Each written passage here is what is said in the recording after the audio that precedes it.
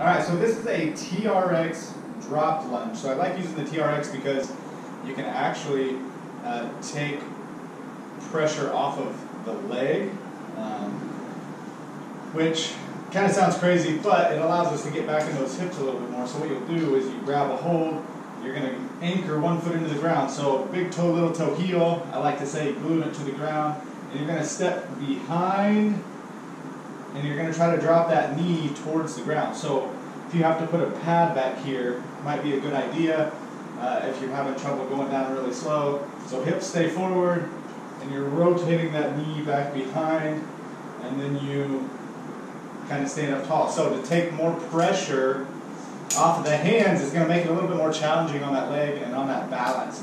So this is here kind of just to help support you but you want to try to use that leg, and you should feel it working all this glute in here on that stance leg.